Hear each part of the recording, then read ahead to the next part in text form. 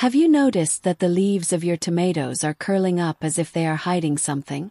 As if they are afraid to show their faces to the sun. It is not a coincidence. And it is not just something passing. It is a sign. The plant is telling you something. It is just.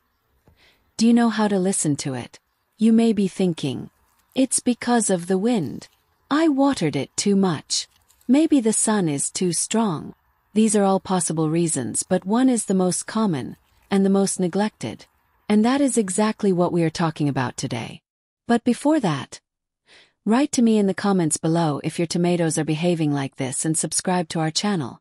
It is completely free. Thank you for that. How often do you feed your tomatoes? I'm just curious how many of you notice this in time. Why do the leaves curl up? There can be several reasons, but the most common are potassium and calcium deficiency. The plant loses its balance, the leaf curls inwards. Uneven watering, sometimes dry land, sometimes flooded with water. Too much sun or wind. They cause stress, and the leaves protect themselves by bending.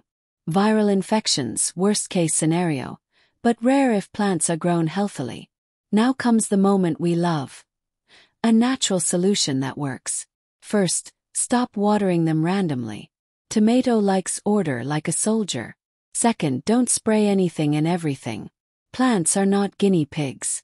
And third, give him what he is looking for. Calcium, potassium, and the strength to fight on his own. Let's go to my trick. I mix one liter of milk, a teaspoon of baking soda and some wood ash. I dilute all this with 5 liters of water and water the plants once a week. If you also need protection against diseases, I also add a little chamomile tea. Simply, naturally. And the leaves straighten up like soldiers on parade. And remember this.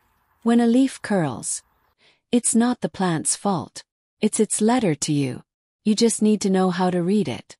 If this video helped you, click like, share with your garden friends. And of course, subscribe because here every leaf has its own story. See you soon, with new garden secrets that plants whisper and we pass them on.